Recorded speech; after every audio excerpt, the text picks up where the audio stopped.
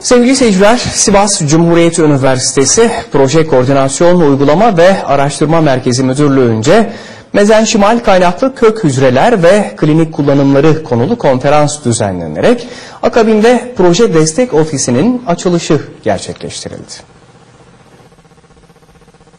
Cumhuriyet Üniversitesi Kültür Merkezi'nde düzenlenen konferansa Rektör Yardımcısı Profesör Doktor Ali Taşkın, rektör danışmanları, dekanlar, Yüksekokul, Meslek Yüksekokulu, enstitü müdürleriyle öğretim üyeleri ve öğrenciler katıldı.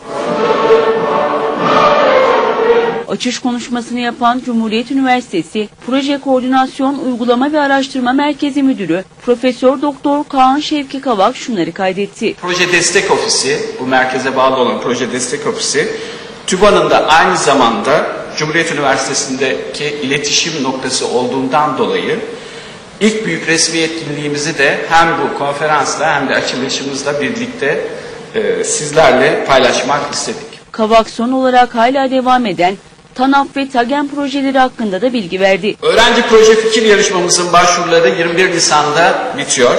Üniversitemizin 2018-2022 strateji planında ve 2016 yılı girişimcilik ve yenilikçilik endeksi ile ilgili verilerimizin TÜBİTAK'a gönderilmesinde gerekli katkıları üniversitemize sağladık. Rektör yardımcısı Profesör Doktor Ali Taşkın ise yaptığı konuşmada TÜBA ve TÜBİTAK'ın ülkemizin kalkınmasındaki önemine vurgu yaptı. Batı'da son 200 yılda ön plana çıkan Royal Society dediğimiz bilimler akademilerinin temelleridir.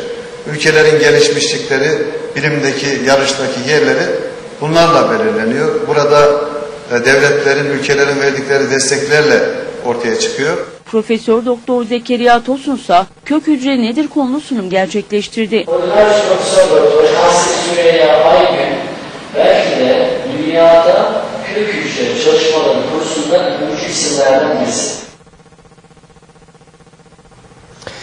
Tekin Çelikbilek Özel Eğitim Anaokulu